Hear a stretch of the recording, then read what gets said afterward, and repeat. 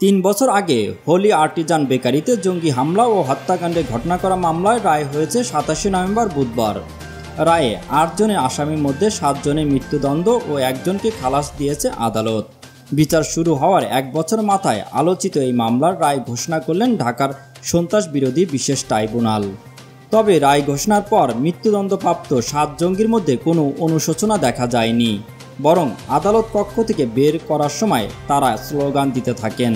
এ সময় মৃত্যুদণ্ডপ্রাপ্ত আসামি রাকিবুল ইসলাম ওরফ রিগানের মাথায় আন্তর্জাতিক জঙ্গি সংগঠন ইসলামী স্টেট আইএসের পতাকা প্রতীক সম্বলিত টুপি পরেছিলেন। এরপর আসামিদের পিজন ভ্যানে তোলার পরও আরও এক জঙ্গি জাহাঙ্গীর আলম ওরফে রাজীব গান্ধীকেও কালো কাপড়ে তৈরি একই রকম টুপি পরতে দেখা যায়।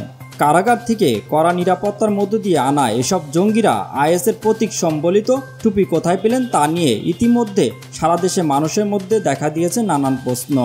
জঙ্গিরা কারাগার থেকে এই টুপি নিয়ে এসেছেন নাকি আদালতে আনার সময় বা আনার পর কোনোভাবে তাদের কাছে এই টুপি এসেছে, এ নিয়ে চলছে সোশ্যাল মিডিয়ায় তর্ক বিতর্কের ঝড়। তবে উপস্থিত প্রত্যক্ষদর্শী জানিয়েছে, সকালে আদালতে আনার সময় কারও মাথায় এমন টুপি ছিল না। বের হওয়ার সময় রাকিবুল ইসলাম ওরফে রিগানের মাথায় আইএসের প্রতীক সম্বলিত টুপি দেখা যায়। আবার কেউ বলেছে, আসামি রাকিবুল হাসান রিগান এজলাসে বসা অবস্থায় টুপি পরা ছিলেন তবে তখন টুপিতে আইএসের লঘু দেখা যাচ্ছিল না, কারণ তিনি তখন টুপিটি উল্টো করে পড়েছিলেন এদিকে দুপুরে সচিবালয়ে আইনমন্ত্রী আনিসুল হকের সংবাদ সম্মেলনে এই বিষয়ে প্রশ্ন করা হয়েছিল। জবাবে আইনমন্ত্রী বলেন এখন এখানে জবাব দিতে পারব না? এটাই এটা মানে আমার পক্ষে এটা জবাব দেওয়া এখন সম্ভব না, এটা স্বাভাবিকও না।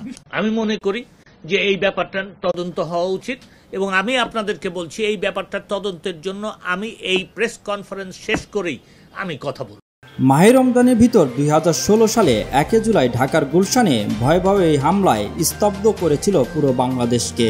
একই সঙ্গে স্পষ্ট হয়েছিল জঙ্গিবাদের বিস্তারে এক বিপজ্জনক মাত্রা আজকের এই আদালতে আসামিদের মাথায় আইএসের টুপি প্রদর্শন করা শস্যের ভিতর ভূত যেন না হয় সেই কামনা সবার।